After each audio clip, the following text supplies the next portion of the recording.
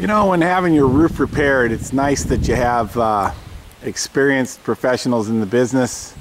All of uh, the repairmen for roof doctors are licensed quality uh, roof repairmen. And uh, it's kind of nice to have that kind of knowledge working on your roof.